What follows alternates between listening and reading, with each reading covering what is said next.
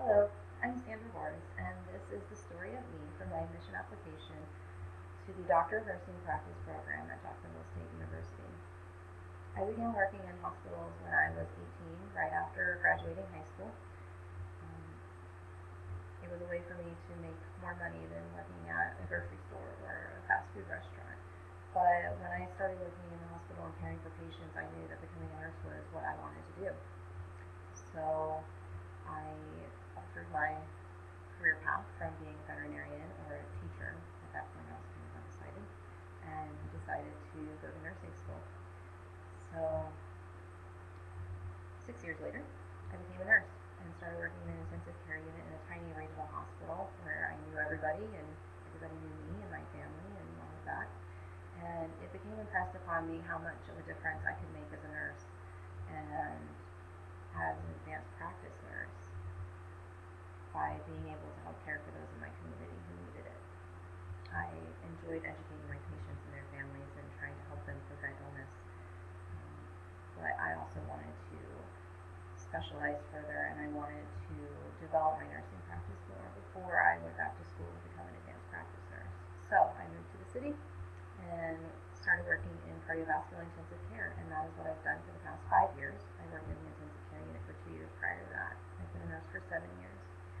Cardiovascular intensive care is something that I love. I love working with the patients after surgery and telling them that just because they're on an insulin drip, they don't have diabetes, and um, explaining to them the reasons why and but what they can do to help prevent diabetes from happening, especially if they're maybe borderline diabetic. Um, helping their families understand what's going on and what the patient's going through is an uh, important thing to me too. Um, my nursing practice has become focused more on the health promotion model developed by Nola Pender.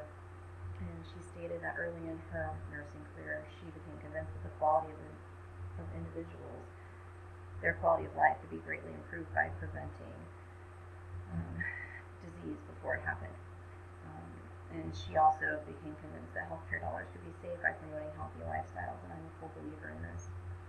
As an advanced practice nurse, I believe that I'll be able to, and I believe that all advanced practice nurses have the ability to improve their patients' lifestyles and the lifestyles of their families by diagnosing and developing plans of care that that surround the patient and that encompass what they are capable of. Uh, nurses have a great power and ability in being more relatable, I think, sometimes than other health practitioners are, and that's something that we should harness.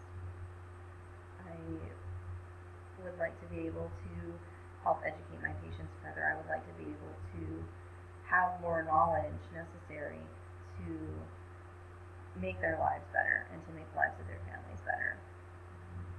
I also have a goal of teaching. I've enjoyed teaching from the time I was 18. I was a color guard instructor after I graduated from high school for a time, and then um, I, because I already worked in hospitals when I was in nursing school, seemed everybody came to me to see what I thought of something, and within my limited at that time knowledge, I would help them out, and it was something that I loved, and so I would like to be able to um, obtain a teaching certificate in nursing education so that I can also teach nursing to future students and to those who also want to help um, our patients and, and our communities grow and become better and healthier. And